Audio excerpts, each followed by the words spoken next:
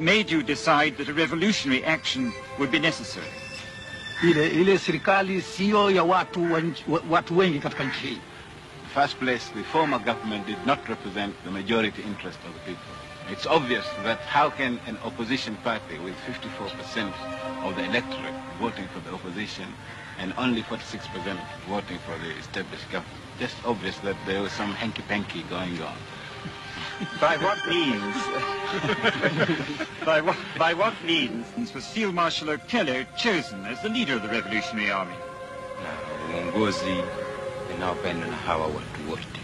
Because of his experience and the leadership which is popular to the people who organize the, the Where did he get his previous military experience from? Mungu ya Waafrika, hata nikafaulu kwa Mungu ya Waafrika. He said he was trained here by the God of the Africans, gained experience through the God of Africans, and we succeeded through the God of Africa. Um, Sheikh Babu, it's no, no uh, news to you that there is considerable speculation as to whether the communists were behind